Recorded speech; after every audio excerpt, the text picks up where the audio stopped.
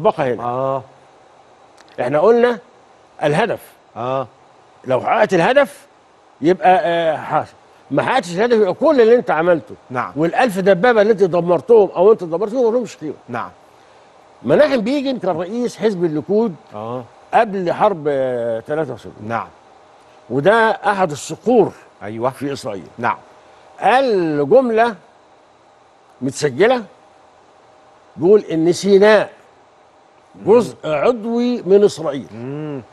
وسأتخذ فيها مرقدي ابدي يعني لما أموت ادفن فين؟ في سينا. أدي قيمة سيناء بالنسبة له. آه. أدي قيمة ده بيجي نوقع مع الرئيس سادات. أهو. آه. عشان كده هو هو بقى. آه. هنا بقى لا الحرب. بس هنا كمان معلش قبل. ما ننتقل. اتفضل. سيناء بالنسبة لهم كده.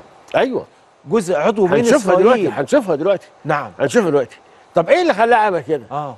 الإرادة آه، الناتجة عن الحرب فرضت نفسها على الجميع نعم. والموقف السياسي والإعلامي وكل ده فرض نفسه على الجميع اذا القوة نعم. تصنع الحق. آه. تصنع الحق. الحق. فهنا بقى آه، هل المفارقة دي أنا بتكلم بقى آه، يعني إخواتنا وأولادنا وزمايلنا. نعم. هل المفارقة اللي قال لك سينا جزء وهتدفن فيها آه. وهو اللي مضى على اتفاقية لتسليم سينا آه. بالكامل أيوة. هل دي بتشير لنتيجة معينة نعم. يعني هنسيبها للناس آه، يعني كل واحد يقدرها نعم لما هنوصل للجنة أجرانات في الآخر نعم. هنجد مزيد من الدلالات لهذا لجنة الموضوع أجرانات الإسرائيلية بعد الحرب بعد بيعملوا تقييم بالظبط. وعملوا اجراءات ان هم. يشوفها اتفضل يا. فندم